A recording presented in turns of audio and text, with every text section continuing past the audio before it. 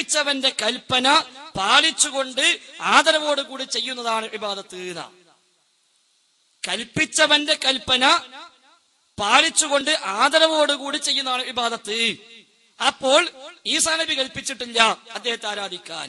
അതുകൊണ്ട് ക്രിസ്ത്യാനികൾ ചെയ്യണമെന്ന് വിഭാഗത്തല്ല എന്നൊരുത്തം പറയോ. കൽപ്പിച്ചവന്റെ കൽപ്പന അംഗീകരിച്ചുകൊണ്ട് ആദരവോടുകൂടി നിർവഹിക്കൽ. അപ്പോൾ ഈസാ നബി കൽപ്പിച്ചിട്ടില്ല. അതുകൊണ്ട് യേശുവെ കാക്കണേ എന്ന ക്രിസ്ത്യാനികളെ വിളി ഇബാദത്തല്ല എന്ന് പറയേണ്ടി വരില്ലേ? അതേപോലെ ജൂതന്മാർ ഉസൈർ നബിയെ വിളിച്ചു പ്രാർത്ഥിക്കുന്നു ആരാധിക്കുന്നു. ഉസൈർ നബി കൽപ്പിച്ചിട്ടുണ്ടോ? ഇല്ല. അതുകൊണ്ട് ഓരോ ചെയ്യുന്ന വിഭാഗത്തല്ല എന്ന് പറയോ? ഇല്ല. പിന്നെ എന്തേ റാസിയ പറഞ്ഞത്? അത് റബ്ബിനെ നിർവഹിക്കുന്ന ഇബാദത്ത് എപ്പോഴാണ് ഇബാദത്താവുക? അല്ല കൽപ്പിച്ച കാര്യമാകണം. ആ കൽപ്പന പാലിച്ചുകൊണ്ടാവണം. പടച്ച റബ്ബിനെ തഴതീമ ചെയ്തുകൊണ്ടാകണം. അപ്പോഴേ ഇബാദത്താവൂ. അതുകൊണ്ടാണ് ആലിയാസ്ലാത്ത് വിഭാഗത്തല്ലാത്തത് കാരണം അല്ലി റസൂൽ കൽപ്പിച്ചിട്ടില്ല. അതുകൊണ്ട് കമാലിയാസ്ലാത്ത് വിഭാഗത്തല്ലാത്തത് അല്ലി റസൂലും പഠിപ്പിച്ചിട്ടില്ല. അതുകൊണ്ടാണ് നബിദിനാഘോഷം മതപരമായ പുണ്യകർമ്മമാകാത്തത്. കാരണം അല്ലി റസൂലും പഠിപ്പിച്ചിട്ടില്ല. ഈ ഭാഗത്താവണോ കൽപ്പിച്ചവന്റെ കൽപ്പന പാലിച്ചുകൊണ്ട് ചെയ്യണം. എന്നതുപോലെ അള്ളാക്കുള്ള ദുആ ആകണോ? അതിനെപ്പറ്റി എന്ത് പറഞ്ഞത്? ഒരു അടിമ തന്റെ റബ്ബിനോട് തന്റെ ആവശ്യം പരിഹരിക്കാൻ വേണ്ടി ചോദിക്കുന്നതാണ് ദുആ. ആ ചോദ്യം അല്ലാത്തോട് ചോദിച്ചാലോ? അത് അവർക്കുള്ള ദുആ ആയി. അതിനകത്ത് വേറെ റബ്ബാവുന്നല്ല. അങ്ങനെയാണെങ്കിൽ ലോകത്ത് ഒരുപാട് റബ്ബുണ്ടാവുമല്ലോ ഒരുപാട് റബ്ബായി മാറും. അപ്പൊ ഒരു അടിമ തന്റെ റബ്ബിനോട് അബ്ദി റബ്ബഹു ഒരു അടിമ തന്റെ റബ്ബിനോട് തേടുന്ന തേട്ടം അതാണ് എന്ന് ആ ഹു എന്നുള്ളതോട് കൂടി തന്നെ അതങ്ങനെ അല്ല എന്ന് സഹോദരൻ മനസ്സിലാക്കുക തെറ്റിദ്ധരിച്ചതാണെങ്കിൽ പോയിട്ട് ആ ഇബാടത്തിന്റെ കുറച്ച് മുമ്പൊന്നും കുറച്ച് ബേക്കും കൂടി വായിച്ചു നോക്കിയാൽ സംഗതി മനസ്സിലാവും അത് അതിനെ പറ്റല്ല ഈ തഫ്സീർ റാസിയിൽ ദുആയെ പറ്റി തന്നെ വേറൊന്ന് കാണാം. ദുആയെ കുറിച്ച് തന്നെ തഫ്സീർ റാസിയിൽ മറ്റൊരു ഒരു- ഒരു വിശദീകരണം അതും നിർവചനമല്ല. അതെന്താ? അത് ദുആയെ പറ്റി പറഞ്ഞപ്പോൾ തഫ്സീർ റാസിയിൽ ഫഖറുദ്ദീൻ റാസി റഹിമഹുല്ല പറഞ്ഞു യുഫീദു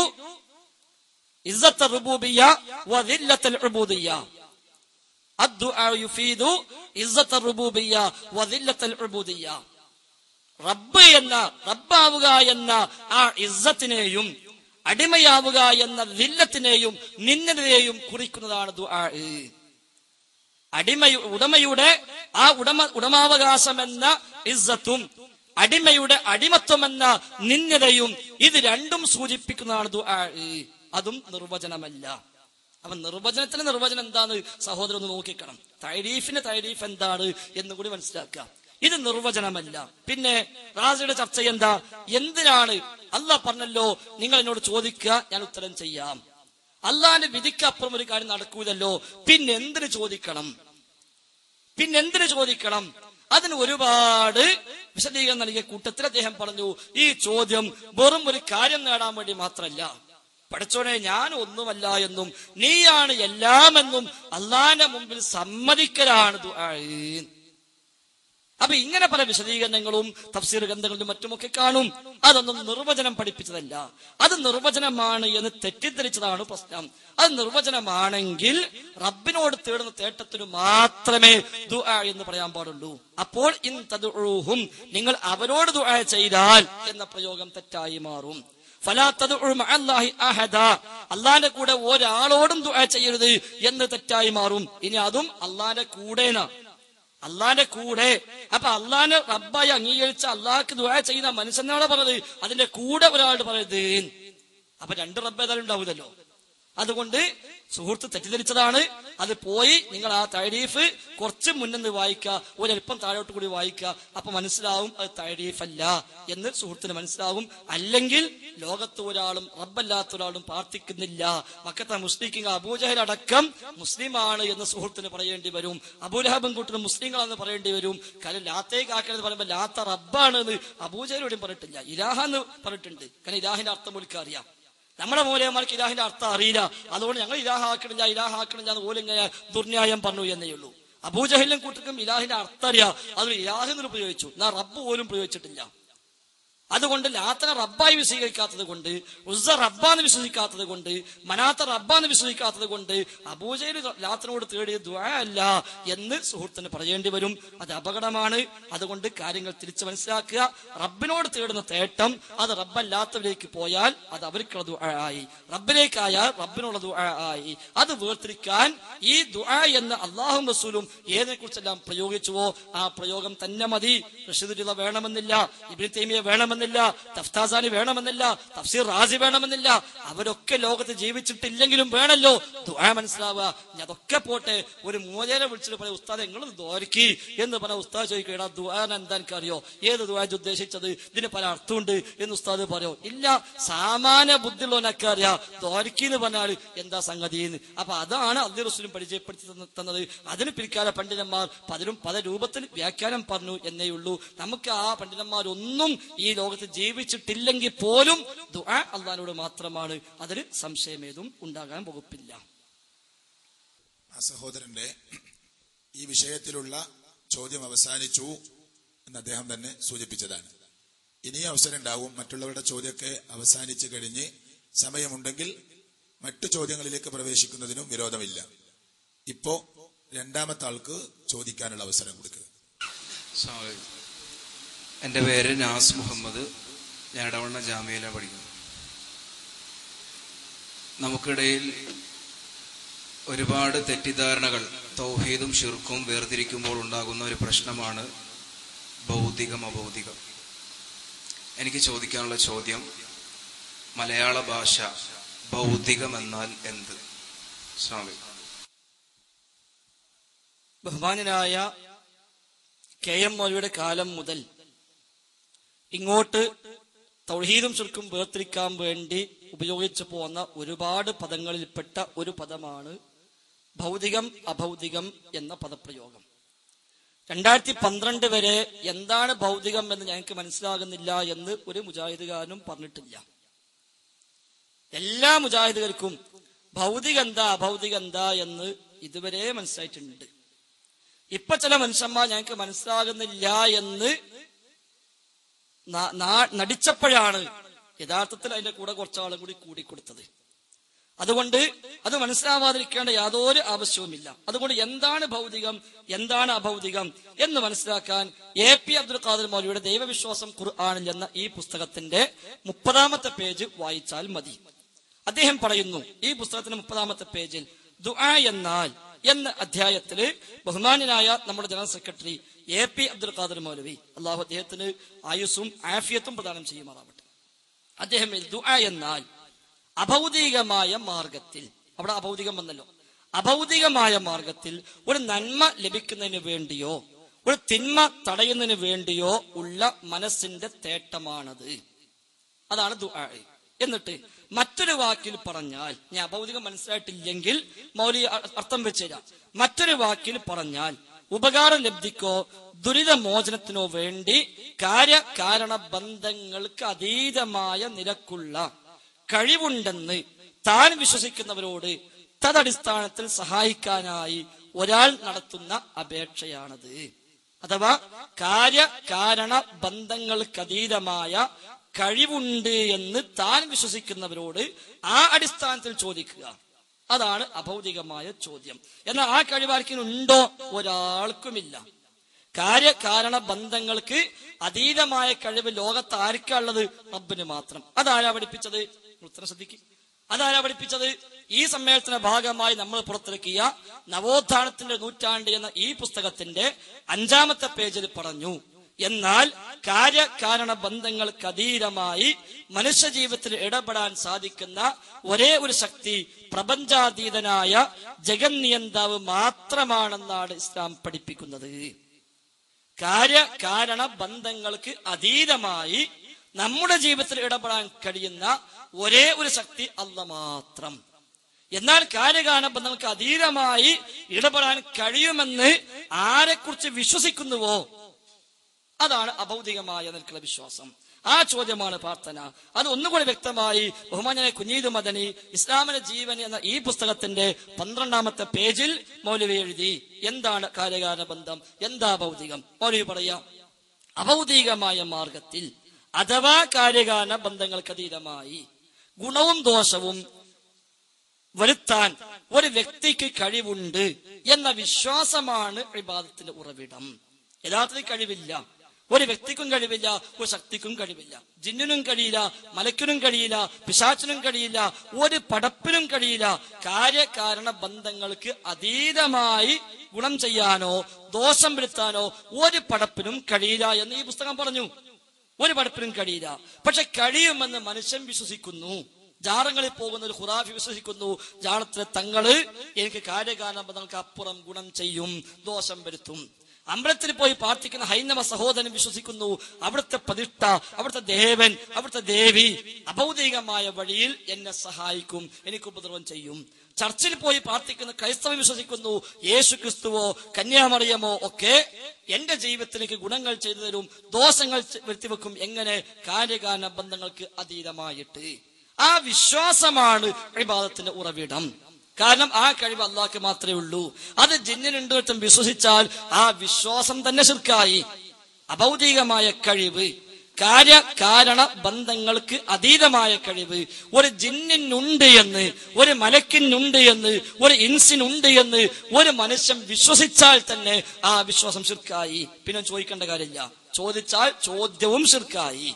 അതുകൊണ്ട് അഭൗതികം എന്ന് പറഞ്ഞാൽ എ പി അബ്ദുൽ ഖാദർ മൊഴി തന്നെ നമുക്ക് നൽകിയ വിശദീകരണം കാര്യ കാരണ ബന്ധങ്ങൾക്ക് അതീതം. അത് കുഞ്ഞീതു മദനയും പറഞ്ഞു തന്നു. അങ്ങനെ കാര്യകാരണ ബന്ധങ്ങൾക്ക് അതീതമായി അല്ല മാത്രമേ ഉള്ളൂവെന്ന് ഈ പുസ്തകത്തിലും പറഞ്ഞു. ഈ നേരത്തെ ഞാൻ വായിച്ച വിചിന്തനം വാരിക. രണ്ടായിരത്തി ഏഴ് ഫെബ്രുവരിയിലെ അതിൽ പറഞ്ഞു ജിന്നുകളും മലക്കുകളെയും കഴിവുകളുടെയും ജിന്നുകളുടെയും മലക്കുകളുടെയും പ്രവർത്തനങ്ങളുടെയും കഴിവുകളുടെയും പ്രവർത്തനങ്ങളുടെയും കാര്യകാരണങ്ങൾ നമുക്ക് പിടികിട്ടുന്നില്ലെങ്കിലും അതെല്ലാം അവർക്ക് അള്ളാഹു നിശ്ചയിച്ച വ്യവസ്ഥ അനുസരിച്ചാണ്. അതുകൊണ്ട് തന്നെ അതിനെക്കുറിച്ച് അഭൗതികമെന്നോ കാര്യകാരണ ബന്ധങ്ങൾക്ക് അതീതമെന്നോ ബുദ്ധിയും വകതിരിവുമുള്ളവർ പറയുകയില്ല. അത് ചെറിയ മുണ്ടവും എഴുതി. ചെറിയ മുണ്ടം പ്രാർത്ഥന തൗഹീദ് എന്ന പുസ്തകത്തിൽ അദ്ദേഹം വ്യക്തമായി എഴുതി. എന്താ എഴുതിയത്? ജിന്നുകളുടെയും ജിന്നുകളുടെയും മലക്കുകളുടെയും കഴിവുകളെ പറ്റി ചെറിയ മുണ്ടം അബ്ദുൽ ഹമീദ് മദനി അദ്ദേഹം പ്രാർത്ഥന തൗഹീദ് എന്ന പുസ്തകത്തിൽ ഞാൻ നേരത്തെ വായിച്ചു കേൾപ്പിച്ചല്ലോ. അദ്ദേഹം പറഞ്ഞ ജിന്നുകളെ കഴിവുകൾ നമുക്ക് അദൃശ്യമാണെങ്കിലും അവയെക്കുറിച്ച് അഭൗതികമെന്ന് പറയുന്നത് ഇസ്ലാമിക വീക്ഷണത്തിന് ശരിയല്ല എന്ന് ചെറിയ മുണ്ടം അബ്ദുൽ ഹമീദ് മദനയും നമ്മെ പഠിപ്പിച്ചു. ഇതാ. അതുപോലെ വിജനപ്രദേശത്ത് ഉണ്ടായേക്കാൻ സാധ്യതയുള്ള ജിന്നുകളും മലക്കുകളും ഉൾപ്പെടെയുള്ള സൃഷ്ടികൾക്ക് സൃഷ്ടികളോട് അവർക്ക് കഴിവ് നൽകപ്പെട്ട വിഷയത്തിൽ സഹായം ആവശ്യപ്പെട്ടാൽ അതും പ്രാർത്ഥനയാണെന്ന് പറയാവുന്നതല്ല. കാരണം അത് അഭൗതികമല്ല കാര്യകാരണ ബന്ധങ്ങൾക്ക് അപ്പുറത്തല്ല എന്നർത്ഥം. അതുകൊണ്ട് അഭൗതികം എന്ന പദം ഇത്രയും കാലം നമ്മളൊക്കെ പ്രയോഗിച്ചപ്പോൾ അത് തർക്കമില്ലാത്ത വിധം എല്ലാവർക്കും മനസ്സിലായിരുന്നുവെങ്കിൽ ഇപ്പോൾ മാത്രം എന്താണ് സംശയം ഉണ്ടായത് എന്നറിയില്ല. ചെറിയ മുണ്ടം തന്നെ പ്രാർത്ഥന പുസ്തകത്തിന്റെ എഴുപത്തി എട്ടാമത്തെ പേജിൽ ഒന്നുകൂടി പറഞ്ഞു ജിന്നുകൾക്ക് അള്ളാഹു നൽകുന്ന കഴിവ് മനുഷ്യ കഴിവിന് അതീതമെങ്കിലും അതിന് അഭൗതികമെന്ന് വിശേഷിപ്പിക്കുന്നത് ഇസ്ലാമിക കാഴ്ചപ്പാടിൽ ശരിയല്ല. അഭൗതികമായ കഴിവ് എന്ന് നാം പറയുമ്പോൾ ഉദ്ദേശിക്കുന്നത് അള്ളാഹു സൃഷ്ടികൾക്ക് ആർക്കും നൽകിയിട്ടില്ലാത്ത കഴിവാണ്. അത് തന്നെ ഞാൻ നേരത്തെ വായിച്ച വിചിന്തനത്തിലും പറഞ്ഞു. എല്ലാ സൃഷ്ടികളെയും കഴിവുകൾക്ക് അപ്പുറമുള്ള കഴിവ്. അതാണ് അഭൗതികം എന്ന കഴിവ് കൊണ്ട് ഉദ്ദേശിക്കുന്നത്. ഇതാ അതും കൂടി വായിക്കാം.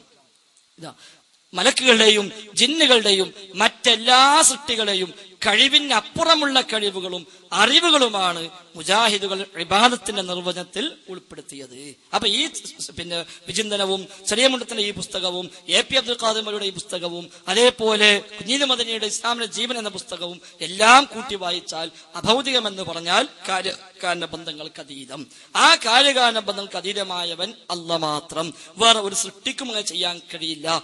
കഴിയുമെന്ന് വിശ്വസിക്കുമ്പോൾ ശിർക്കായി. ചോദിക്കുമ്പോൾ അത് പ്രാർത്ഥനയായി. ആ ആ അടിസ്ഥാനത്തിൽ ആ സൃഷ്ടിയെ പേടിച്ചാൽ ആ പേടിയും അവർക്കുള്ള ആരാധനയായി. ആ സൃഷ്ടിയെ ബഹുമാനിച്ചാൽ ആ ബഹുമാനം അവർക്കുള്ള ആരാധനയായി. ആ സൃഷ്ടിയോട് ആ അർത്ഥത്തിൽ എന്ത് ചെയ്താലും അതെല്ലാം അവർക്കുള്ള ആരാധനയായി. അതും കുഞ്ഞീതു മദനി തന്നെ ഇസ്ലാമിലെ ജീവൻ എന്ന ഈ പുസ്തകത്തിൽ തന്നെ കുഞ്ഞീതു മദനി അതും എഴുതിയിട്ടുണ്ട്. ഇതാ അത്തരം ഈ വിധത്തിലുള്ള ഒരു കഴിവ് ഒരു വ്യക്തിക്കോ ശക്തിക്കോ ഉണ്ടെന്ന് വിശ്വസിച്ചുകൊണ്ട് അതിന്റെ അവന്റെ അല്ലെങ്കിൽ അതിന്റെ മുമ്പിൽ അർപ്പിക്കപ്പെടുന്ന താഴ്മ വിനയം വിധേയത്വം സ്നേഹം ഭയം ഭരമേൽപ്പനം ധനവ്യയം അന്നപാനാദികൾ ഉപേക്ഷിക്കൽ അവയവങ്ങളെ ചലനം നേർച്ച വഴിപാട് തുടങ്ങിയ സർവകാര്യങ്ങളും ആരാധന വകുപ്പിൽ ഉൾപ്പെടുന്നു. ഇനി അതുകൊണ്ട് മനസ്സിലായിട്ടില്ലെങ്കിൽ ഏറ്റവും പുതിയ വിചിന്തനം ഈ വിചിന്തനത്തിൽ ഇ കെ എം പന്നൂർ എഴുതിയ ലേഖനം ആ ലേഖനത്തിലും ആ കാര്യം തന്നെ ഒന്നുകൂടെ ഉറപ്പിച്ച് അദ്ദേഹം പഠിപ്പിക്കുന്നുണ്ട്. അഥവാ ഇയാക്കണ ഇയാക്കണസ്തഴീൻ എന്നത് പഠിപ്പിക്കുമ്പോൾ ആ ഇയാക്കണസ്തഴീനയിൽ എന്തെല്ലാം പെടും എന്ന് പരിചയപ്പെടുത്തിയപ്പോൾ അവിടെയും കാര്യകാരണ ബന്ധങ്ങൾക്ക് അതീതം എന്ന അർത്ഥത്തിൽ അവിടെയും വിശദീകരിച്ചിട്ടുണ്ട്. കാര്യകാരണ ബന്ധങ്ങൾക്ക് അതീതമായി ചെയ്യാൻ കഴിയുമെന്ന നിലയ്ക്ക് എന്ത് കാണിച്ചാലും എന്ത് പ്രവർത്തിച്ചാലും ആ പ്രവർത്തനങ്ങളെല്ലാം എന്താവും? ഇയാക്കണബുദിന്റെ പരിധിയിൽ വരും എന്നും അപ്പോൾ ഇയാക്കനബുദു എന്നത് കാര്യകാരണ ബന്ധത്തിന് അതീതമായ ഗുണദോഷ പ്രതീക്ഷയോടെയുള്ള ഏതു ചെറിയ ചലനം പോലും അള്ളാഹുവിന്റെ മുമ്പിൽ മാത്രമേ നടത്തുകയുള്ളൂ എന്നതാണ് ആ പ്രതിജ്ഞയുടെ പൊരുൾ. അപ്പൊ കാര്യകാരണ ബന്ധങ്ങൾക്ക് അതീതമായി ഉള്ള നിലയ്ക്ക് ഗുണമോ ദോഷമോ പ്രതീക്ഷിച്ചുകൊണ്ട് ഏതു ചലനം നടത്തിയാലും അതുകൊണ്ടാണ് അമ്പലത്തിന് മുമ്പിലൂടെ പോകുന്ന ഹൈന്ദവൻ ബസ്സിൽ നിന്ന് കൈകൂപ്പിയാൽ അത് അവിടേക്കുള്ള ആരാധനയായി മാറിയത്. ജാളത്തിന് മുമ്പിലൂടെ പോകുന്ന ഒരു ഖുറാഫി അവിടെ എത്തുമ്പോൾ ആ ജാളത്തേക്ക് പണമെറിഞ്ഞാൽ അത് അങ്ങോട്ടുള്ള ആരാധനയായി മാറുന്നത്. ഓമാന ശ്രോതാക്കളെ പെട്ടിയിലേക്ക് പണമെറിയുമ്പോൾ അത് അവർക്കുള്ള ആരാധനയാകുന്നത്. അത് തന്നെ ബഹുമാന്യനായ എം എം അക്ബർ സാഹിബ് അദ്ദേഹത്തിന്റെ അള്ളാഹുവിനെ അറിയുക എന്ന ഈ പുസ്തകത്തിൽ അദ്ദേഹം കൃത്യമായി പറഞ്ഞു എപ്പോഴാണ് ആരാധനയാവുക. എപ്പോഴാണ് ആരാധന ആകാതിരിക്കുക? എല്ലാം വിശദമായി പറഞ്ഞു. അദ്ദേഹം പറയുന്നു മുകളിൽ സൂചിപ്പിച്ച ഖുർആൻ വാക്യങ്ങളിൽ പ്രാർത്ഥനയും ആരാധനയും തത്തുല്യ പദങ്ങൾ എന്ന നിലക്കാണ് പ്രയോഗിച്ചിരിക്കുന്നത് എന്ന കാര്യം പ്രത്യേകം ശ്രദ്ധേയമാണ്. രണ്ടും ഒന്നാണ് സ്ഥാപിച്ചു. എന്നിട്ട് അപ്പോൾ മനുഷ്യർ ആരാധന അർപ്പിക്കേണ്ടത് ആർക്കാണ്? ആരോടാണ് അവർ പ്രാർത്ഥിക്കേണ്ടത്? സകലമാന കഴിവുകളുടെയും ഉടമസ്ഥാവകാശം ആർക്കാണോ? രഹസ്യങ്ങളും പരസ്യങ്ങളും അറിയുന്നവൻ ആരാണോ? ഹൃദയത്തിനകത്തുള്ളത് വ്യക്തമായി അറിയുന്നവൻ ആരാണോ? അവനാണ് അവന് മാത്രമാണ് ആരാധന അർപ്പിക്കേണ്ടതെന്ന് സാമാന്യ ബുദ്ധി പറയുന്നു. ഈ സാമാന്യ ബുദ്ധിയുടെ വിധി തന്നെയാണ് ഇസ്ലാമിന്റെ അടിസ്ഥാന തത്വം. സൃഷ്ടാവും പരിപാലകനുമായ അള്ളാഹുവിന് മാത്രമേ ആരാധകർ അർപ്പിക്കാവൂ എന്നാണ് ഇസ്ലാം നിഷ്കർഷിക്കുന്നത്. പ്രാർത്ഥനാ വഴിപാട് അർപ്പിക്കപ്പെടാൻ അർഹൻ അള്ളാഹു മാത്രമാണ്. വിശ്വസിക്കുമ്പോൾ മാത്രമാണ് അള്ളാഹുടെ വിശ്വാസം പൂർണമാകുന്നത്. എന്നിട്ട് അള്ളാഹു അല്ലാതെ മറ്റാരെങ്കിലും ആരാധകർ അർഹിക്കുന്നുണ്ടോ? യഥാർത്ഥത്തിൽ അള്ളാഹു മാത്രമാണ് ആരാധകളെല്ലാം അർഹിക്കുന്നതെന്ന് അല്പം ചിന്തിക്കുന്ന ഏവർക്കും ബോധ്യമാകും. ഹൃദയത്തിനുള്ളിലുള്ളത് അറിയാവുന്നവനല്ലാതെ മറ്റാർക്കാണ് പ്രാർത്ഥനയുടെ യഥാസ്ഥിതി മനസ്സിലാക്കാൻ കഴിയുക. എല്ലാ കഴിവുകളുടെയും നാഥനും എല്ലാ അറിവുകളും ഉള്ളവനുമായ അള്ളാഹു അല്ലാതെ മറ്റാരാണ് പ്രാർത്ഥിക്കപ്പെടാൻ അർഹനായിട്ടുള്ളവൻ? എന്നിട്ട് അതിന്റെ ഇരുന്നൂറ്റി രണ്ടാമത്തെ പേജിൽ പറയുന്നു പ്രാർത്ഥന ഉൾക്കൊള്ളുന്ന കർമ്മങ്ങളെല്ലാം ആരാധനയാണ്. ദിവ്യനായി കരുതപ്പെടുന്ന ഒരാൾ അനുസരിക്കപ്പെടുന്നത് പ്രാർത്ഥനാ നിർഭരമായ മനസ്സോടുകൂടിയാണ്. അയാളിൽ നിന്ന് കാര്യ കാരണ ബന്ധങ്ങൾക്ക് അതീതമായ ഗുണമോ ദോഷമോ പ്രതീക്ഷിച്ചുകൊണ്ടാണ് പ്രസ്തുത അനുസരണം. അതുകൊണ്ട് തന്നെ ആ അനുസരണം ആരാധനയായി തീരുന്നു ദൈവങ്ങൾക്ക് സമർപ്പിക്കപ്പെട്ട ഭക്ഷണം കഴിക്കുന്നത് പ്രാർത്ഥനാ നിർഭരമായ മനസ്സോടെയാണ്. അപ്പോൾ അത് കഴിക്കുന്നത് ആരാധനയാണ്. ശവകുടീരങ്ങളെ പ്രദക്ഷിണം വെക്കുന്നത് പ്രാർത്ഥന ഉൾക്കൊള്ളുന്ന മനസ്സോടെയാകുമ്പോൾ ആ പ്രദക്ഷിണം ആരാധനയായി തീരുന്നു ഇങ്ങനെ പ്രാർത്ഥന ഉൾക്കൊള്ളുന്ന കർമ്മങ്ങളെല്ലാം ആരാധനയാണ്. ആരാധന അള്ളാഹുവിന് മാത്രമേ സമർപ്പിക്കാവൂ എന്നാണ് ഇസ്ലാമിന്റെ അധ്യാപനം. അപ്പോൾ ഭൗതിക അഭൗതികമെന്നും കാര്യകാല ബന്ധമെന്നും എല്ലാം പറഞ്ഞത് ഈ അർത്ഥത്തിലാണ്. ആ അർത്ഥത്തിൽ തന്നെയാണ് അദൃശ്യമെന്നോ മറഞ്ഞ വഴി എന്നോ നമ്മൾ പ്രയോഗിച്ചത് എന്ന് കൂടി കൂട്ടത്തിൽ നമ്മൾ മനസ്സിലാക്കുക. ഫൈസൽ മൗലവി പറഞ്ഞത് എന്റെ ചോദ്യത്തിനുള്ള മറുപടിയല്ല. കാരണം ഞാൻ ചോദിച്ചത് നമ്മൾ തൗഹീദും ഷിർക്കും വേർതിരിക്കുമ്പോൾ ഉണ്ടാകുന്ന പ്രശ്നമാണ് ഭൗതികം അഭൗതികം എന്നിട്ട് എന്നെ നിർത്തിയിട്ട് ചോദ്യം ഇതാണ് ഭൗതികം എന്നാൽ മലയാള ഭാഷയിൽ എന്താണ് അതിനാ ഞാൻ ചോദിച്ചിട്ടുള്ളൂ ഈ ദുആ എന്താണെന്നോ ദുആ ആകണമെങ്കിലുള്ള പരിധിയും അതേപോലെ തന്നെ കാര്യകാരണ ബന്ധം ഒന്നും ഞാൻ ചോദിച്ചിട്ടില്ല. ഇത്രയും പുസ്തകം അത് പറയേണ്ടി വന്നത് എന്തുകൊണ്ടാ? ഷിർക്കും തൗഹീദും വേർതിരിക്കുന്നിടത്ത് നാം പ്രയോഗിക്കുന്ന പദമാണ് ഭൗതികം എന്ന് ഞങ്ങൾ ചോദിച്ചത് തന്നെ അതൊന്നും പറയാതെ നേക്കിനെ മൈക്കെടുത്തിട്ട് എന്താ ഭൗതികം എന്ന് ചോദിച്ചാൽ നമുക്ക് എന്ത് ചെയ്യാം? ഒരു ശബ്ദതാലാവിടുത്ത് എന്ത് ചെയ്യാം? വായിച്ചു കേൾപ്പിക്കാൻ പറ്റും. നേരെ മറിച്ച് ശിർക്കും തൗഹീദും വേർതിരിക്കുന്നിടത്ത് നമ്മൾ പ്രയോഗിച്ചതാണല്ലോ ഭൗതികം എന്ന പദം. അതിപ്പോ വിവാദമാണല്ലോ എന്നാണ് നിങ്ങളുടെ ചോദ്യം. അപ്പൊ ആ അർത്ഥത്തിൽ ഭൗതികം അഭൗതികം എന്നത് മുജാഹിദികൾക്കെല്ലാം മനസ്സിലായിട്ടുണ്ട്. ഇനി മനസ്സിലായിട്ടില്ലെങ്കിൽ ഇതൊക്കെ വായിച്ചാൽ മതി എന്ന് പറയാനാണ് ഞാൻ കൊണ്ടുവന്നത്. അല്ലാതെ ഒരു ഒരു മലയാള വാക്കിന്റെ അർത്ഥം പഠിക്കാനാണെങ്കിൽ നമ്മൾ ഇങ്ങനത്തെ മുഖാമുഖം ആവശ്യമില്ലല്ലോ. കേവല ഭൗതികം എന്നുള്ള വാക്കിന് അല്ലെങ്കിൽ ഏതൊക്കെ ഡിക്ഷണറി എവിടേക്ക് എന്തൊക്കെ അർത്ഥം കൊടുത്തു എന്ന് പഠിക്കാനാണെങ്കിൽ. നമുക്കിപ്പോ ജാമ്യത്തിന് ഇഷ്ടം പോലെ ലൈബ്രറിയിൽ ഡിക്ഷണറി ഉണ്ട്. അതേതും വായിച്ചു നോക്കിയാൽ അവിടുന്ന് കിട്ടുമെന്ന് അർത്ഥം എന്നുള്ളത്. നേമത്തെ ശിർക്കും തൗഹീദും പഠിപ്പിക്കുന്നിടത്താണെങ്കിൽ അവിടെ നമുക്ക് ഈ പദം ആവശ്യം വരുന്നത്. നമ്മളെ സംബന്ധിച്ച് ഈ പദം ആവശ്യം വന്നത് എന്തുകൊണ്ടാ? ഞാൻ അതും നമ്മൾ മനസ്സിലാക്കുക. അള്ളഹാനോടെ തോൽക്കാവൂ എന്ന് പറഞ്ഞാൽ നമുക്കാർക്ക് സംശയം എന്താ ദുആ എന്നുള്ളത്. പിന്നെ എന്തിനാ നമ്മൾ ഈ ഭൗതികാഭൗതിക പദം ഉപയോഗിച്ചത്? ഞങ്ങൾ ചെയ്യുന്ന ദുആ അല്ല എന്ന് ചിലർ വാദിച്ചു. നേരത്തെ ചോദ്യകർത്താവ് പറഞ്ഞ പോലെ തന്നെ. ദുആ ആകണമെങ്കിൽ റബ്ബിനോട് ചോദിക്കണം അല്ലെങ്കിൽ ദുആ ആകൂല അപ്പോഴാണ് അല്ല. അല്ലാത്തോട് ചോദിച്ചാലും ദുആ ആകും. അതെങ്ങനെ? അവിടെയാണ് നമ്മൾ ഈ പദം എടുത്തത് തന്നെ. ഭൗതികം അഭൗതികം എന്ന പദം തന്നെ. അല്ലെങ്കിൽ നമുക്കൊരു ആവശ്യമില്ല. മലയാള ഭാഷയിൽ വ്യത്യസ്ത അർത്ഥങ്ങളുള്ള പദമാണ് ഭൗതികം എന്ന പദം. അതിന് അതുമാത്രമല്ല പ്രാർത്ഥന എന്ന പദം അങ്ങനെ തന്നെ. പ്രാർത്ഥന എന്ന പദം. എന്താ? ഡിക്ഷണറി എടുത്ത് നോക്കി എന്തൊക്കെ കാണും? യാചിക്കാൻ അർത്ഥമുണ്ട് ചോദിക്കാൻ അർത്ഥമുണ്ട് വിളിക്കാൻ അർത്ഥമുണ്ട് ക്ഷണിക്കാൻ അർത്ഥമുണ്ട് ദൈവത്തോട് പ്രാർത്ഥിക്കാൻ അർത്ഥമുണ്ട് ഇതൊക്കെ അതിന്റെ അർത്ഥമാണ്. ഒരാൾ വന്നിട്ട് എന്താ പ്രാർത്ഥന അർത്ഥം പണ്ട് കാന്തപുരം വെച്ചു. പ്ര എന്ന് പറഞ്ഞാൽ അലങ്കാരം. അർത്ഥന എന്ന് പറഞ്ഞാൽ ആവശ്യപ്പെടുക. അപ്പോൾ പ്രാർത്ഥന അലങ്കാരത്തോട് ആവശ്യപ്പെടുക. അതുമാണ് അർത്ഥം എന്ന് പറയാം അയാൾക്ക്. എന്നാൽ ആ അർത്ഥം പഠിപ്പിക്കാനാണ് നമ്മളെ മുഖാമുഖം? അല്ല. പിന്നെയോ ഒരു കാര്യം തൗഹീലും ശുൽക്കുമായി വേർതിരിക്കുന്നിടത്ത് നമ്മൾ എങ്ങനെ പ്രയോഗിച്ചു? ഭൗതികം എന്നത് പല അർത്ഥത്തിൽ ഉപയോഗിക്കാം. അഭൗതികം എന്നതും പല അർത്ഥത്തിൽ ഉപയോഗിക്കാം. അദൃശ്യം എന്ന അർത്ഥത്തിൽ അഭൗതികം എന്ന് പ്രയോഗിക്കാറുണ്ട്. അമാനി മൗലി പ്രയോഗിച്ചിട്ടുണ്ട് അങ്ങനെ. അദൃശ്യം എന്ന അർത്ഥത്തിൽ അഭൗതികം എന്ന് പ്രയോഗിക്കാം. സൂത്രയിൽ അമാനി മൗലി വ്യാഖ്യാനിച്ചപ്പോൾ രേഖപ്പെടുത്തിയിട്ടുണ്ട്. എന്നാൽ തൗഹീദും ശുൽക്കും വേർതിരിക്കുന്നിടത്തുള്ള അഭൗതികം. അവിടെയുള്ള ഭൗതികം. അതാ ഞാൻ പറഞ്ഞത് കാര്യകാരണ ബന്ധങ്ങൾക്ക് അതീതമായത്. അത് അഭൗതികം. അപ്പോൾ അധീനമായത് ഭൗതികം.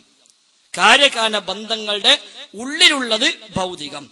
അപ്പുറത്തുള്ളത് അഭൗതികം. സുഹൃത്ത് മനസ്സിൽ വെച്ച ഒരു മറ്റൊരു ചോദ്യമുണ്ട്. ആ ചോദ്യത്തിന് ഇങ്ങനെ വളഞ്ഞു തിരിഞ്ഞ് വരണം എന്നില്ല. എനിക്ക് നേരെ ആ ചോദ്യം ചോദിക്കാം. നമ്മൾ സമയം കളണ്ടല്ലോ അതിനു വേണ്ടി ആദ്യം രണ്ട് ചോദ്യം ചോദിച്ച് പിന്നെ അപ്പുറത്തേക്ക് പോയി പിന്നെ ഇപ്പുറം കടന്ന് പിന്നെ അതിലേക്ക് എത്തേണ്ട ആവശ്യമില്ല. അപ്പൊ നിങ്ങൾ ഉദ്ദേശ ചോദ്യം നിങ്ങളെ മനസ്സിലുണ്ടല്ലോ. ആ ചോദ്യം നിങ്ങൾ വൈകാതെ ചോദിച്ചോളൂ. അപ്പൊ ഇൻഷാല്ല ബാക്കി പറഞ്ഞുതരാം.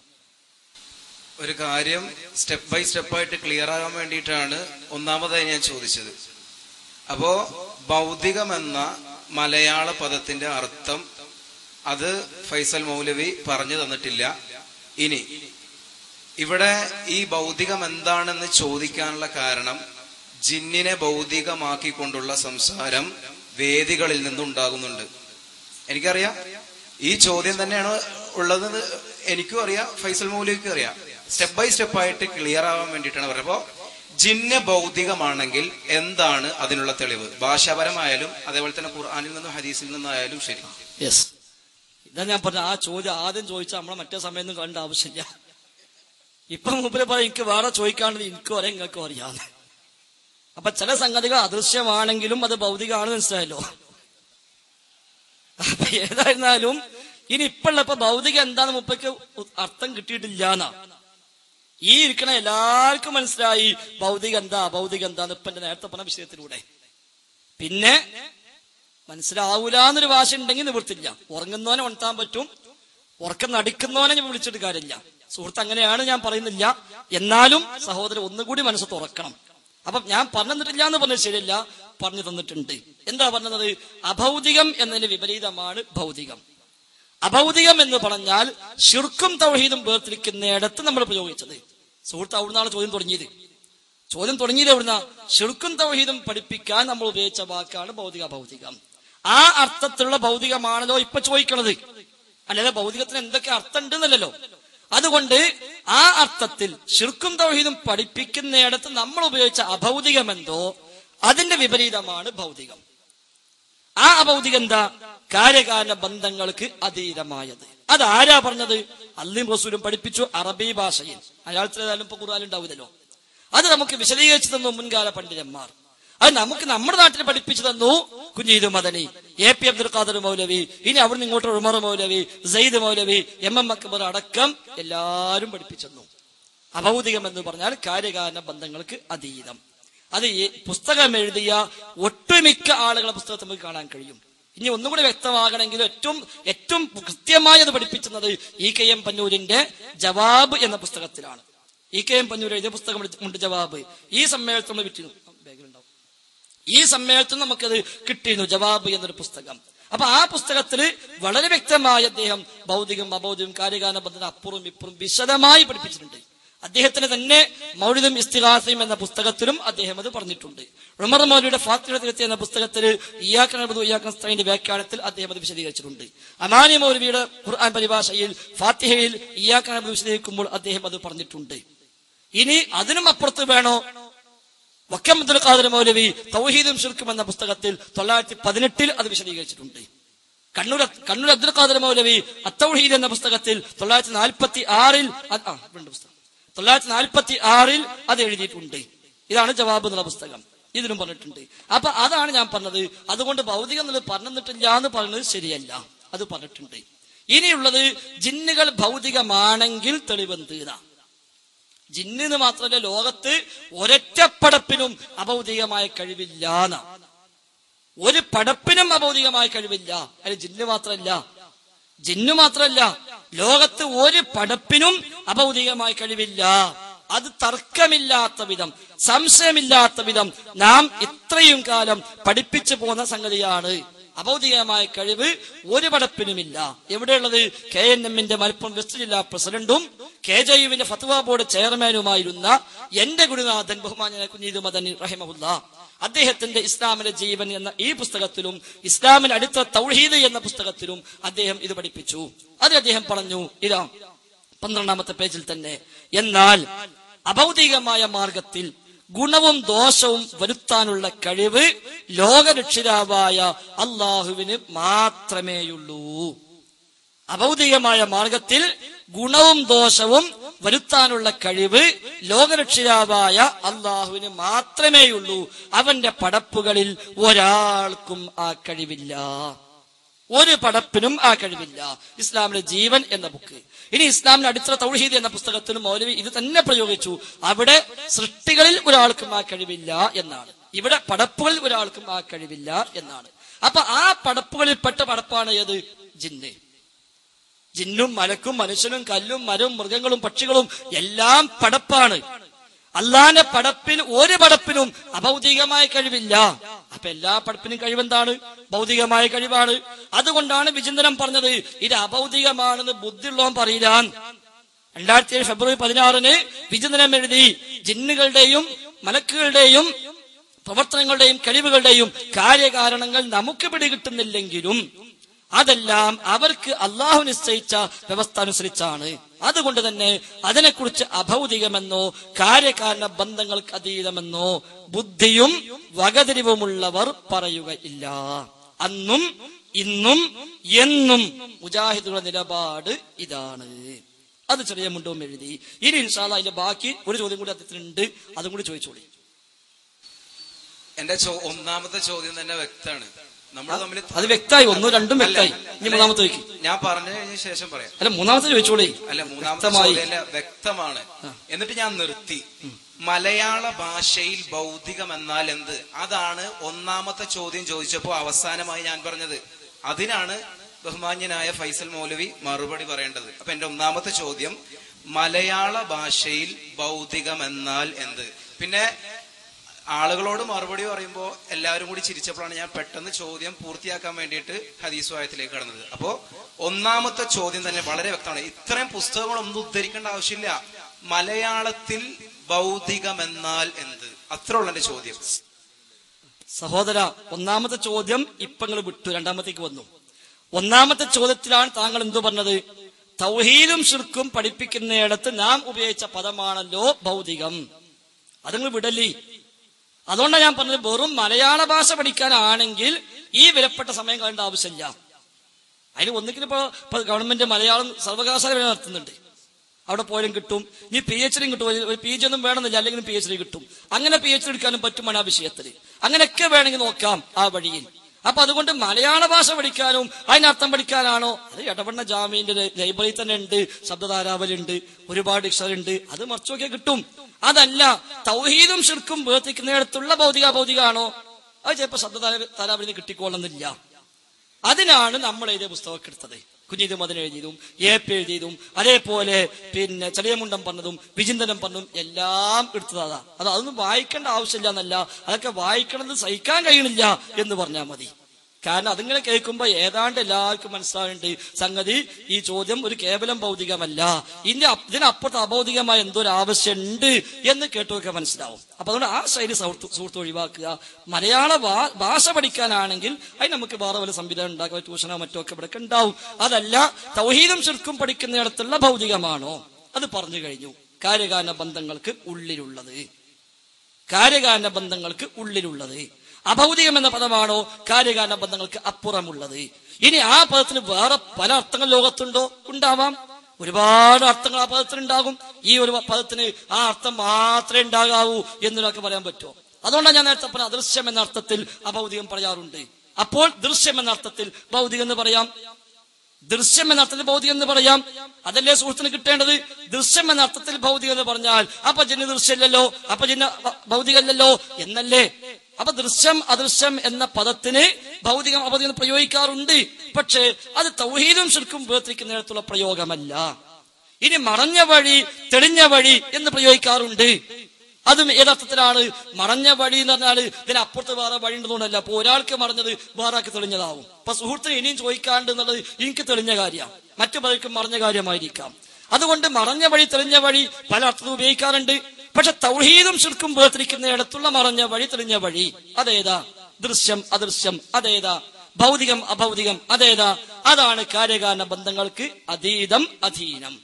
അത് കൃത്യമായി ബോധ്യമാകും. ആ അർത്ഥത്തിൽ ലോകത്ത് അഭൗതികമായ കഴിവുള്ളവൻ അഭൗതികമായ കേൾവിയുള്ളവൻ അഭൗതികമായ കാഴ്ചയുള്ളവൻ അഭൗതികമായി സഹായിക്കുന്നവൻ അഭൗതികമായി ദോഷം വരുത്തുന്നവൻ എല്ലാം അല്ല മാത്രം. ഇനി അതല്ല ആ അർത്ഥത്തിൽ അഭൗതികമായ കേൾ- കേൾവിയും കാഴ്ചയും ശക്തിയും സഹായം ചെയ്യാൻ ദോഷം വെട്ടാനും കഴിവും എല്ലാം അള്ളാഹുല്ലാത്തവർക്ക് ഉണ്ട് എന്നാണോ? ജിന്നിനുണ്ട് എന്നാണോ? ആ അർത്ഥത്തിൽ ജിന്ന അഭൗതികം എന്നാണ് എന്നാണോ? എങ്കിൽ അത് തന്നെ ശിർക്കാണ്.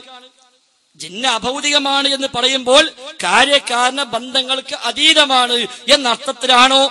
എങ്കിൽ ആ വിശ്വാസം തന്നെ ശിർക്കാണ്. ചോദിക്കാൻ പോകേണ്ട കാര്യമില്ല. അതുകൊണ്ടാണ് വിചിന്തനം എന്ത് പറഞ്ഞത്? ബുദ്ധിയും വകതിരിവുള്ളവും പറയില്ലാൻ പിന്നെ വിട്ടം പറഞ്ഞിട്ടുണ്ടെങ്കിൽ ഓന് ബുദ്ധിയില്ലാന്ന് മനസ്സിലാക്കാം എന്നല്ലേ വിചിന്തനം പഠിപ്പിച്ചെന്നത്?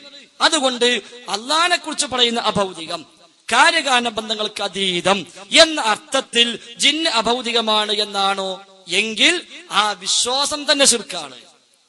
അതേസമയം അദൃശ്യം എന്ന അർത്ഥത്തിലാണോ അഭൗതികം? ഒരു തകരാറുമില്ല. ജിന്നിനെ കുറിച്ച് ആ അർത്ഥത്തിൽ അഭൗതികം എന്ന് പറയാം. അദൃശ്യം എന്ന അർത്ഥത്തിൽ കാണാത്ത എന്ന അർത്ഥത്തിലാണെങ്കിൽ അഭൗതികം എന്ന് പറയാം. അതുപോലും സൂക്ഷ്മത പാലിച്ച പണ്ഡിതന്മാർ അദൃശ്യം എന്ന വാക്കിലാണ് നിർത്തിയിട്ടുള്ളത്. അഭൗതികം എന്ന് പറഞ്ഞാൽ തെറ്റല്ലതാനും അത് അമാന്യമരു അടക്കം എഴുതിയ ഒരു പദപ്രയോഗവുമാണ്. ഇപ്പൊ രണ്ട് രൂപത്തിലാണ് രണ്ട് രൂപത്തിലാണ് ഫൈസൽ മൗലയുടെ മറുപടി വന്നത്. ജിന്ന് ഭൗതികമാണെന്ന് പറയുന്നതിലും തെറ്റില്ല. ജിന്ന് ഭൗതികമാണെന്ന് പറയുന്നതിലും തെറ്റില്ല. ജിന്ന് അദൃശ്യമെന്ന നിലയ്ക്ക് അഭൗതികമാണെന്ന് പറയുന്നതിലും തെറ്റില്ല. ഇത് രണ്ടും ഒന്ന് തന്നെയാണ്. നിങ്ങൾ പറഞ്ഞ മറുപടി അനുസരിച്ചിട്ട് രണ്ടും പറയാം. അങ്ങനെ ഒരു ഇതില്ലല്ലോ. ഒന്നില്ലെങ്കിൽ ജിന്ന് ഭൗതികം മാത്രം. അല്ലെങ്കിൽ കേരള ജംഇയത്തുൽ ഉലമ പറയുന്നത് പോലെ മനുഷ്യനെ സംബന്ധിച്ചിടത്തോളം അഭൗതികം ആണ് എന്ന് പറയുന്നത് തെറ്റല്ല. രണ്ടും നിങ്ങളാ പറഞ്ഞത്. അതുകൊണ്ട് ഒന്നില്ലെങ്കിൽ ജിന്ന് ഭൗതികം മാത്രം. അല്ലെങ്കിൽ ജിന്ന് മനുഷ്യനെ സംബന്ധിച്ചിടത്തോളം അഭൗതികം. ഏതെങ്കിലും ഒന്നിൽ നിൽക്കണം. രണ്ടും പറയണ്ടല്ലോ. സുഹൃത്ത് പറഞ്ഞു ഞാൻ മറുപടി രണ്ട് രൂപത്തിൽ പറഞ്ഞു എന്നാ. എന്നിട്ട് മൂപ്പന രണ്ടും ഒന്ന് തന്നെയാണ്. രണ്ട് രൂപത്തിൽ ഞാൻ മറുപടി പറഞ്ഞു അത് രണ്ടും ഒന്ന് തന്നെയാണ്. അപ്പൊ പിന്നെ ഒരു രൂപത്തിൽ പറഞ്ഞാൽ പോരെ? രണ്ട് രൂപത്തിൽ പറഞ്ഞ ആവശ്യമില്ലല്ലോ. രണ്ട് രൂപത്തിൽ പറഞ്ഞു രണ്ടും ഒന്നാണ്. അതിനർത്ഥം എന്താ? ഒരു രൂപത്തിലേ പറഞ്ഞിട്ടുള്ളൂ എന്നല്ലേ. അപ്പൊ എന്തിനാണ് സഹോദരൻ ഇങ്ങനെയൊക്കെ എടുങ്ങാതാവണത്? മനുഷ്യനെ സംബന്ധിച്ച അഭൗതികം അത് ഫൈസൽ മൗലി പറഞ്ഞതല്ല. അത് എല്ലാരും പറഞ്ഞാണ് ഒരു തർക്കമില്ല ഒരു തർക്കവുമില്ല. എന്റെ സി ഡി ഇപ്പൊ ഏതെല്ലാം ഇവിഷയമായി ലഭ്യമാണോ ആ സി ഒക്കെ കാണും. മനുഷ്യനെ അപേക്ഷിച്ച് അഭൗതികം എന്ന് പറയാം. പക്ഷേ മനുഷ്യനെ അപേക്ഷിച്ചുള്ള അഭൗതികതയിൽ ശിർക്കും തൗഹീദും വേർതിരിയുന്നില്ല.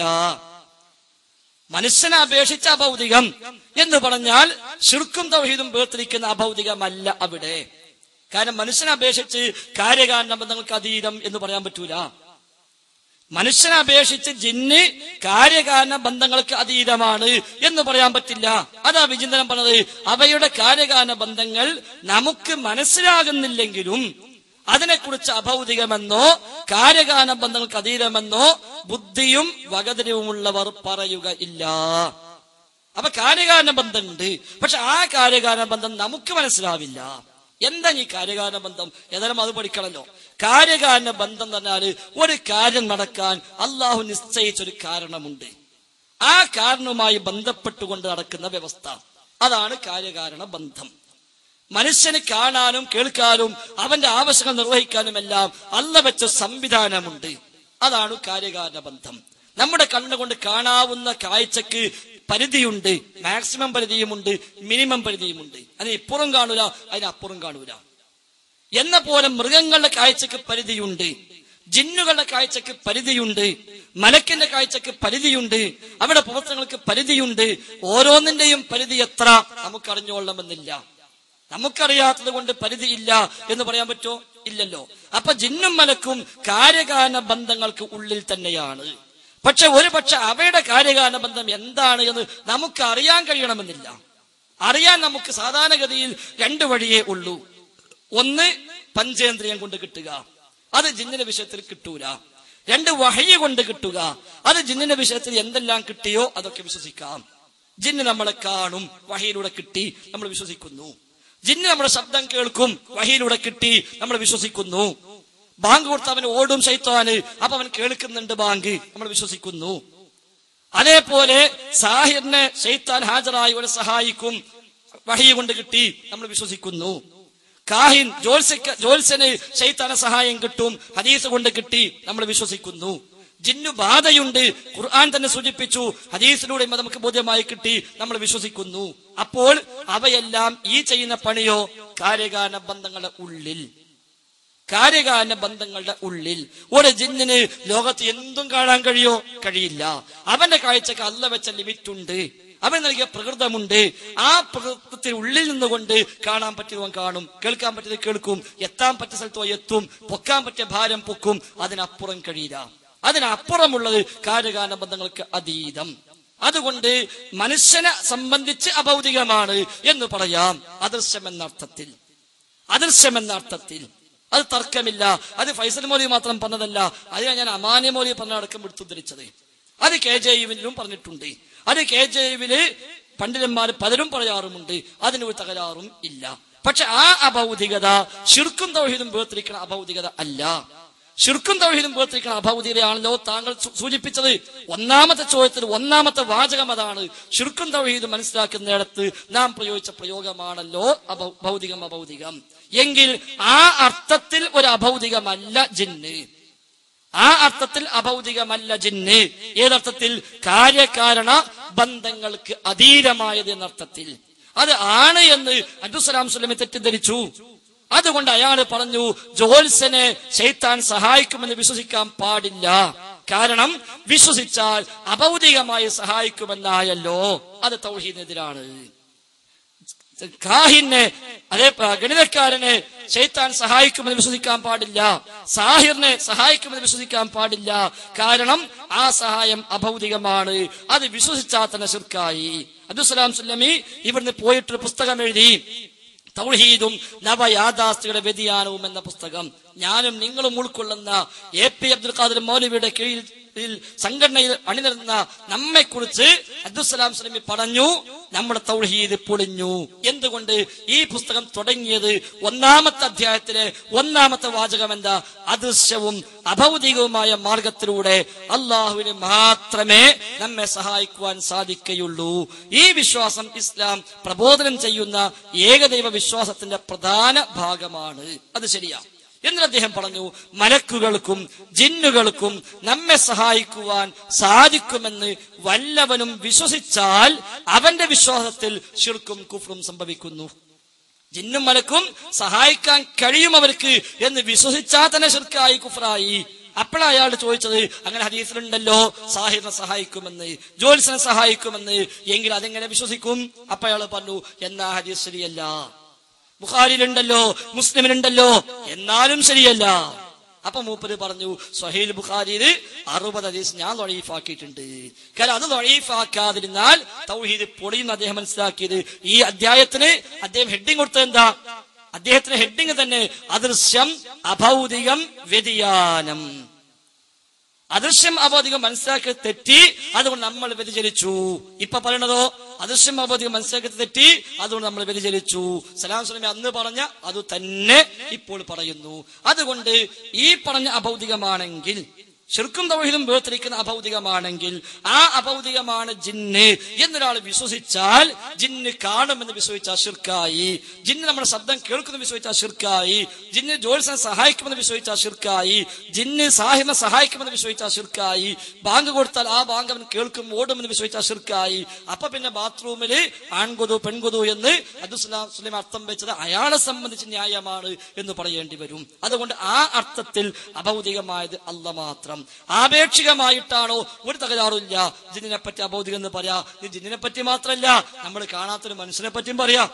നമ്മൾ കാണാത്തൊരു മനുഷ്യനെ കുറിച്ച് എന്ത് പറയാ? അയാൾ നമ്മെ സംബന്ധിച്ച അഭൗതികമാണ് എന്ന് പറയാം. കടന്ത നമ്മൾ കാണുന്നില്ല. ആ അർത്ഥത്തിലേ ഉള്ളൂ. അത് വിശ്വസിച്ച ശിർക്കാവോ? ഇല്ല. അതുകൊണ്ട് ജിന്നിനോടുള്ള ഏത് ചോദ്യവും ശിർക്കാണ് എന്ന് പറയാൻ കൊണ്ടുവന്ന ഭൗതികം അത് തൗഹീദും ശിർക്കുമ്പോഴത്തേക്ക് അഭൗതികമാണ്. ആ അർത്ഥത്തിൽ ജിന്ന അഭൗതികമാണെങ്കിൽ ജിന്നിന്റെ കാഴ്ച അംഗീകരിക്കാൻ പറ്റൂല കേൾവി അംഗീകരിക്കാൻ പറ്റൂല പ്രവർത്തനം അംഗീകരിക്കാൻ പറ്റൂല സാഹിറിനെയും ജോലിസിനെയും സഹായിക്കുമെന്ന് അംഗീകരിക്കാൻ പറ്റില്ല. അപ്പൊ അത്തരം ഹദീസുകൾ തള്ളേണ്ടി വരും. അതാണ് അബ്ദുസ്ലാം ശ്രമിക്ക് പറ്റിയത്. അതുകൊണ്ട് ആ അർത്ഥത്തിൽ അഭൗതികം എന്ന് പ്രയോഗിച്ചുകൂടാ. അല്ലാത്ത സ്വാഭാവികമായ ആപേക്ഷികമായ അർത്ഥത്തിലുള്ള പ്രയോഗമാണോ? ഒരു തകരാറും അതിനില്ല. ക്ലിയർ മനസ്സിലാക്കുന്നു. ആ ചോദിക്കേ. ഫൈസൽ മൗലവി ഒന്നാമതേ മറുപടി പറഞ്ഞപ്പോ പറഞ്ഞു ഭൗതികം എന്ന് പറഞ്ഞാൽ കാര്യകാരണ ബന്ധങ്ങൾക്കുള്ളിലുള്ളത്. അഭൗതികം എന്ന് പറഞ്ഞാൽ കാര്യകാരണ ബന്ധങ്ങൾക്ക് അപ്പുറമുള്ളത്. എന്നിട്ട് വീണ്ടും പറയുന്നു മനുഷ്യനെ സംബന്ധിച്ചിടത്തോളം അഭൗതികമാണ് എന്ന് പറയുന്നതിലും തെറ്റില്ല. അതാണ് പറഞ്ഞത് രണ്ടും ഇല്ല ഇപ്പോ? ഞാൻ നേരത്തെ. രണ്ടും ഒന്നാണ്. രണ്ടും ഒന്നാണെന്ന് പറഞ്ഞ സംസാരത്തിൽ വന്നപ്പോഴാണ്. അപ്പോ ഞാൻ പറഞ്ഞ രണ്ടു രണ്ട് രീതിയിലും പറയാമെന്ന് ഇപ്പൊ ഫൈസൽ മൗലവി പറഞ്ഞു. അലഹമില്ല കേരള ജമിയത്തിലുള്ളമ്മ എടുത്ത നിലപാട് തെറ്റില്ല എന്ന് തെളിയിച്ചു. ഒരുപാട് ആളുകൾ കൂടി പോകുന്നുണ്ട്. കേരള ജമിയത്തുലുമയുടെ ഉത്തരവാദപ്പെട്ട മെമ്പറാണ് ഈ നിമിഷം വരെ ഞാൻ. അതുകൊണ്ട് കെ ജെ എടുത്ത തീരുമാനം എന്ന് പറഞ്ഞാൽ ഞാൻ കൂടി ഉൾക്കൊള്ളുന്ന സഭ എടുത്ത തീരുമാനമാണ്. അല്ലെ കെ ജെ തീരുമാനിച്ച് തെറ്റില്ല നിങ്ങൾ സമ്മതിച്ചു പറഞ്ഞാൽ ഞാൻ ഇനി പുറത്താണെങ്കിലേ നാസസുല്ലമിയെ പോലെ ഞാൻ കെ ജെന് പുറത്താണെങ്കിലല്ലേ ഈ ചോദ്യം പ്രസക്തുള്ളൂ അയാൾ കെ ജെവിന് പുറത്താ. ഞാൻ കെ ജെവിന് അകത്താ. കെ ജെ യുവിന്റെ ഉത്തരവാദപ്പെട്ട മെമ്പറാണ് ഞാൻ അതുകൊണ്ട് കെ ജെ യുവിൽ ഈ വിഷയമായി ചർച്ച വന്നപ്പോൾ ഈ വിഷയമായി ചർച്ച വന്നപ്പോൾ ഇതിന് പ്രബന്ധം തയ്യാറാക്കാൻ കെ ജെ ഏൽപ്പിച്ച ആൾ കൂടിയാ ഞാൻ. കെ ജെ യു ഇതിന് പ്രബന്ധം തയ്യാറാക്കാൻ വേണ്ടി ഏൽപ്പിച്ച എന്നെയാ. ഇത് ഞാനാണ് ആവശ്യപ്പെട്ടത്. എന്നെ സഹായിക്കാൻ അനീഫ് കൂടി വേണം. ഏൽപ്പിച്ചത് എന്നെയായിരുന്നു. അപ്പൊ ഞാൻ പറഞ്ഞു അനീഫിനും കൂടി വേണം സഹായിക്കാൻ. അങ്ങനെ കൊടുത്ത പ്രബന്ധ ഇത്. ഇതിൽ പറഞ്ഞ തന്നെയാണ്. പിന്നീട് കെ ജെ യു ഇങ്ങോട്ട് സർക്കുലർ അയച്ചതും. പക്ഷെ ഇതിൽ ആ ഈ പദത്തിന് ഉപയോഗിച്ച എന്താ? ഇതിന് ഈ പറഞ്ഞ പ്രയോഗത്തിന് ഞങ്ങൾ പ്രയോഗിച്ച പ്രയോഗം എന്താ?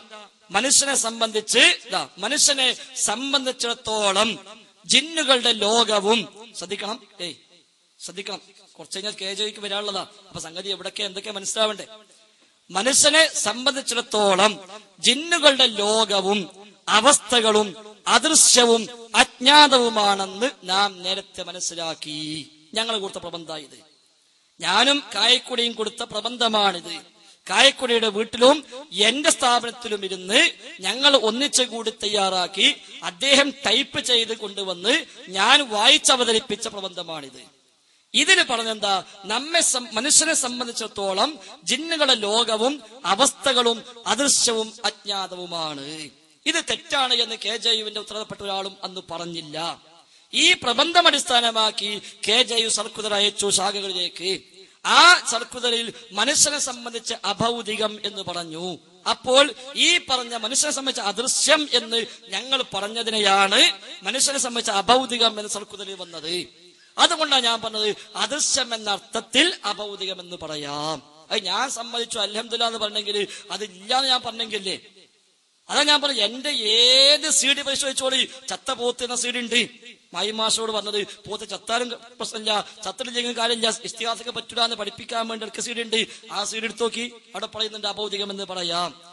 പുഴയിൽ വീണ അക്കരാനികളും കരകയറ്റുന്ന സലഫികളും എന്ന സീഡിയുണ്ട്. അഞ്ചര മണിക്കൂർ മുഖാമുഖം.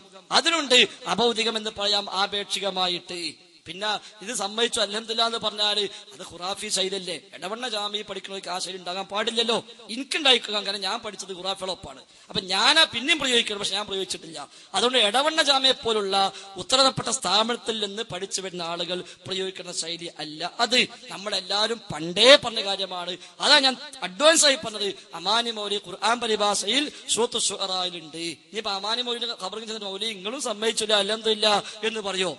അപ്പൊ ആ വക ശൈലി ശരിയല്ല. മറിച്ച് അദൃശ്യം എന്ന അർത്ഥത്തിൽ അഭൗതികം എന്ന് പറയാം. ആ അഭൗതികം എന്തല്ല? ശുർക്കും തൗഹീദും വേർതിരിക്കുന്ന അഭൗതികമല്ല. അദൃശ്യമായത് അഭൗ ആ അർത്ഥത്തിൽ അബോധ്യം എന്ന് പ്രയോഗിച്ചാൽ ഏത് ചോദ്യവും ശിർക്കാകുന്നില്ല. എന്നാൽ കാര്യകാല ബന്ധങ്ങൾക്ക് അപ്പുറമുള്ളത് എന്ന അർത്ഥത്തിലുള്ള അഭൗതികമാണോ? എങ്കിൽ അങ്ങനെ അബൗദികമാണ് വിശ്വസിച്ചാൽ തന്നെ ശിർക്കായി. കാരണം ആ അബൗദികം അല്ല മാത്രമേയുള്ളൂ എന്നാണ് നമ്മൾ പഠിപ്പിച്ചത്. ഇനി വല്ലതും ഉണ്ടോ? ഉണ്ടോ? കഴിഞ്ഞോ? വേറെ ആൾക്ക് ഉണ്ടെങ്കിൽ ചോദിക്കാം. ഇല്ലെങ്കിൽ അദ്ദേഹം വേറെ ആളുണ്ടെങ്കിൽ ചോദിച്ചോട്ടെ. എന്റെ പേര് ഷബീർ ആണ് എന്റെ വീട് കാരയിലാണ്. എനിക്ക് ചോദിക്കുവാനുള്ള ചോദ്യം. ഹയ്യും ഹാദിറും ഖാദിറും സ്വാലിഹുമായ റിജാലുൽ ഗൈബിനോട് സഹായം ചോദിച്ചാൽ ഷിർക്കാകുമോ എന്നാണ്. സഹോദരന്റെ ചോദ്യത്തിൽ വല്ലാത്തൊരു വിഷമമുണ്ട്. കാരയിൽ നിന്ന് ഇടവണ്ണ ജാമ്യയിൽ പോയി പഠിച്ചിട്ടും റിജാദുൽ ഗൈബ് എന്താണ് എന്ന് മനസ്സിലായിട്ടില്ല. റിജാദുൽ ഗൈബ് എന്ന സാധനം ഹയ്യു അല്ല ഹായദറും അല്ല കാതിറും അല്ല. സ്വാലിഹ ആയിരിക്കാം ഉണ്ടെങ്കിൽ സാധനം ഉണ്ടെങ്കിൽ സ്വാലിഹായിരിക്കാം. എന്താ റിജാദുൽ ഗൈബ്? അത് പിന്നെ പറയാൻ നല്ല ഞങ്ങളെ പോലത്തെ പഴയ ഖുറാഫിയാടാ റിജാൽ വൈബ് എന്ന് പറഞ്ഞാൽ തന്നെ സാധനം വേറെ അവിടെ തന്നെ അയ്യും മാതറും പോയി.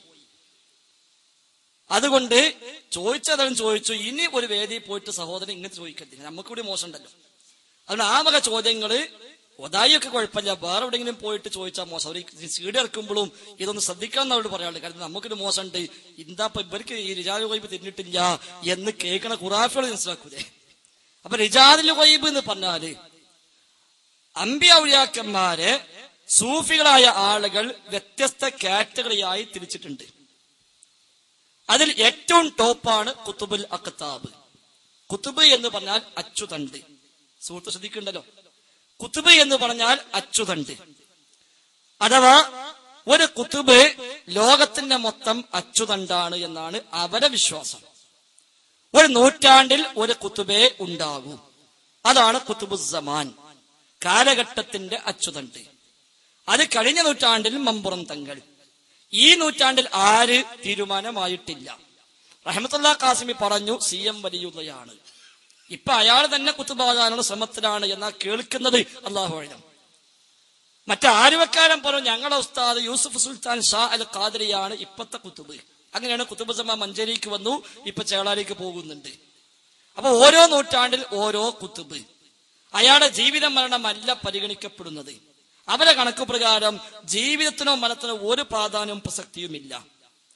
ഇങ്ങനെ ലോകത്ത് ഓരോ നൂറ്റാണ്ടിൽ ഓരോ കുത്തുബുണ്ടാകും. ഉണ്ടാകും നബി സാത്തു വസ്സലാം മുതൽ ഖിയാമത്ത് വരെയുള്ള ഓരോ നൂറ്റാണ്ടിലെയും കുത്തുബുകൾ കൂടിയാൽ അവരുടെ കുത്തുബ് അതാണ് കുത്തുബുൽ അക്താബ് അച്ചുതണ്ടുകളുടെ അച്ചുതണ്ട് അത് ലോകത്ത് ഒരാളേ ഉള്ളൂ അത് മൊഹീദ്ദീൻ ഷെയ്ഖ്. അതാ ഓരോ വിശ്വാസം കേട്ടോ ഇനി അത് വിളിപ്പാക്കിയാണ്ട് ഫൈസൽ മുസ്ലിം റിജാദ് വൈബൊക്കെ വിശ്വസിക്കുന്നുണ്ട് എന്ന് പറയാൻ പോണ്ട. അവരെ വിശ്വാസപ്രകാരം അതാണ് കുത്തുബുൽ അഖ്താബ് അച്ചുതണ്ടുകളുടെ അച്ചുതണ്ട്. ഈ കുത്തുബിന് താഴെ പിന്നെ ഗോസ് ഉണ്ടാവും. അതിന് താഴെ അബുദാൽ ഉണ്ടാകും അതിന് താഴെ നുക്കബ ഉണ്ടാവും. അതിന് താഴെ നുജബ ഉണ്ടാവും. അതാണ് മൂലയന്മാർ ദുആ ശ്രദ്ധിച്ചറിയാ സുമ്മയില അറുവാഹി അമ്പിയായിക്ക ഔലിയായിക്ക എന്ന് പറഞ്ഞ കൂട്ടത്തില് ഒരു പറയുമെന്ത് من الأب- من الأقطاب والبدلاء والأغياث والنجباء والنقباء من مشارق الأرض إلى مغاربها എന്ന് അവർ പറയും വലതുആയി അതാണ് റിജാലുൽ ഗൈബ് ഓരോ വിശ്വാസപ്രകാരം ഈ റിജാദുൽ ഗൈബ് എന്ന മർത്തബയ്ക്ക് എത്തിയ ഒരാള് ഒരേ സമയത്ത് ഒന്നിലധികം സ്ഥലത്ത് പ്രത്യക്ഷപ്പെടും മക്കത്ത് കണ്ട അവരെ മുക്കത്ത് കണ്ടു എന്ന് മോലയന്മാർ പറഞ്ഞ അതുകൊണ്ടാണ്. കാന്തപുരം മുസ്ലിയാർ ക്ലിപ്പ് നമ്മളെ കേട്ടിട്ടുണ്ടാവും. അബുദാൽ അല്ലെങ്കിൽ ബുദല എന്ന ഡിഗ്രിക്കാർ ഒരേ സമയം ഒരുപാട് സ്ഥലത്ത് പ്രത്യക്ഷപ്പെടും. അവർ നാൽപ്പത് തടി വരെ സ്വീകരിക്കാൻ കഴിയുമെന്ന അവരെ വിശ്വാസം. അതിനും അപ്പുറത്തേക്ക് പോയാൽ എത്ര തടിയും സ്വീകരിക്കാം കുത്തുബിനും കുത്തുബുൽ അഖ്താബിനും ഒക്കെ അതാ മൊഹിദീൻ ശൈഖിനെ പറ്റി പറഞ്ഞത്.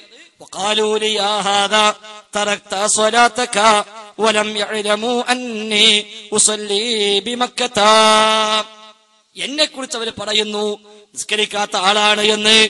ഒരമ്യായിരമോ അവർക്കറിയില്ലല്ലോ. അന്നേ ഉസല്ലീബി മക്കത്ത ഞാൻ മക്കയിൽ നിസ്കരിക്കുന്നുണ്ട് എന്ന് ഇവർക്കറിയില്ലല്ലോ മക്കയിൽ മാത്രമല്ല ഇല്ല ഫീഹി വലാ മിമ്പറുൻ ولي فيه خطبتي. ലോകത്ത് ലോകത്തെവിടെയെല്ലാം ജുമാഅത്ത് പള്ളിയുണ്ടോ അവിടെയെല്ലാം എനിക്ക് മിമ്പറുണ്ട്. എവിടെയെല്ലാം മിമ്പറുണ്ടോ അവിടെയെല്ലാം എനിക്ക് കുത്തുബയുമുണ്ട് അപ്പൊ ഓരോ കണക്ക് പ്രകാരം നമ്മളെ വഹാബി പള്ളിക്കലും മൊയ്തീൻ ഷെയ്ഖ് കുത്തുപെടുത്തലുണ്ട് അതാണ് റിജാലു ഗൈബ് ആ റിജാലു ഗൈബ് പ്രമാണത്തിന്റെ സ്ഥാനത്തിൽ ഹൈ അല്ല ഹാലിറല്ല കാതിറല്ല ഖുറാഫിനെ വിശ്വസിക്കുന്നു ഒരു മരിച്ചാലും ഹയ്യാണ്. അവരിവിടൊക്കെ ഉണ്ടാകും.